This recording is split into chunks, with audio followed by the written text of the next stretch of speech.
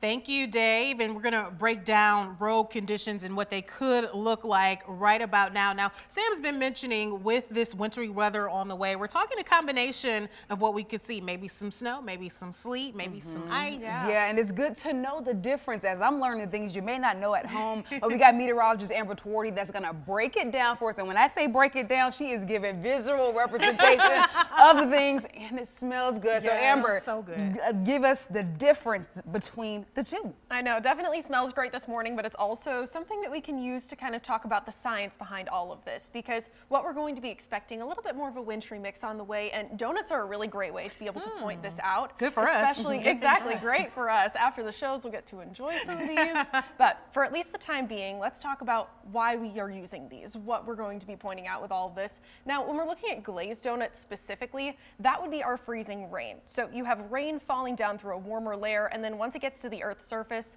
we see temperatures that are right around and slightly below freezing. So that causes all that rain to freeze on contact, leaving that glaze of ice, making mm. things pretty slippery. And it does look like we're going to be possibly seeing that for some areas, but just like Sam said, much further south of us. Instead, something else that we could end up seeing would be more so sleet than anything else. Now, what that would be pointed out by is instead sprinkled donuts here. So you can kind of see a little bit more going on. Even Dave pointed out, maybe this looks a little bit worse when people are mm -hmm. trying to get out on roadways, yep. but at least this gives your tires something to grab hold of, a little bit more traction out there rather than just the glaze of ice. I was thinking see. the same thing, mm -hmm. Amber, that when you look at these donuts, you might think, oh, well, the glaze, that would probably be easier to drive on, smooth surface, but no, no, that's not the case. This is the more dangerous situation. Yeah, this is the one where we're all going to have to kind of waddle out to our cars, take it extremely slow when we're talking about freezing rain, especially.